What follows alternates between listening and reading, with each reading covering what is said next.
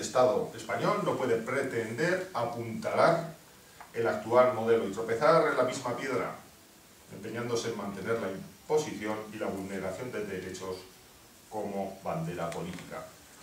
En esta crucijada no podemos dejar que esta crisis del modelo de Estado se cierre en falso. La ciudadanía navarra, la ciudadanía al conjunto de Euskal Herria tiene derecho a decidir libre y democráticamente sin cortapisas su futuro. El Estado español ha llegado el momento, debe aceptar y acatar la decisión democrática de la sociedad.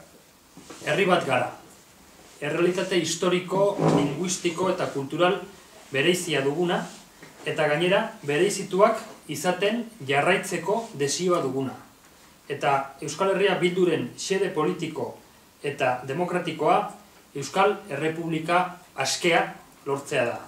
Horregatik, dei egiten diegu Nafar herritar guztiei, asteburuan zehar gure herriaren eta herritarren erabakitzeko eskubide demokratikoaren alde burutuko diren mobilizazioetan parte hartzeko inposizio gehiagorik ez, Nafarrok erabaki nahi dugu eta erabakiko dugu, alegia gure eskuetan dagoelako etorkizuna.